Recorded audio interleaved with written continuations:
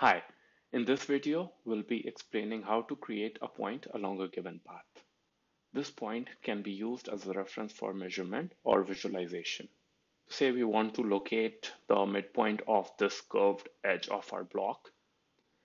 This curved edge does not have a uniform radius and the math to locate the point will be quite cumbersome. But Fusion can handle this well. All we have to do is select this option of point along the path. Click on the curve, let the distance type remain proportional and input 0.5 in the distance and hit OK. Boom.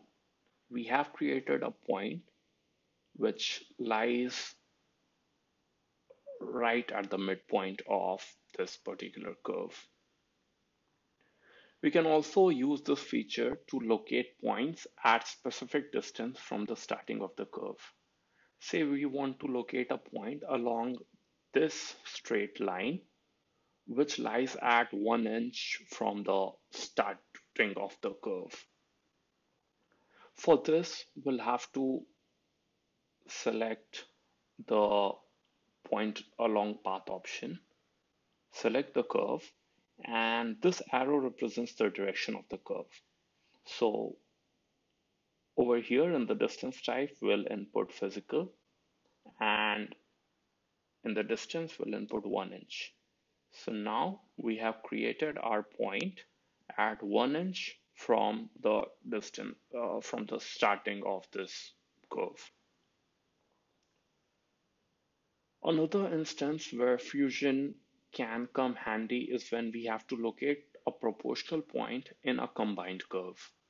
Say we are interested in finding a point which lies at 3 fourths of the total length of these two curves. For this, we'll have to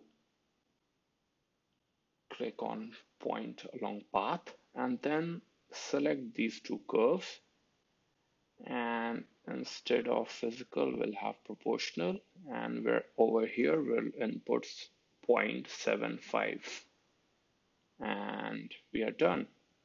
We have this point which is located at 0.75 times the total length of these two curves from the starting point. That's it if you found this video helpful, then please hit the like button and make sure that you have subscribed to our channel so you can keep on getting some cool contents.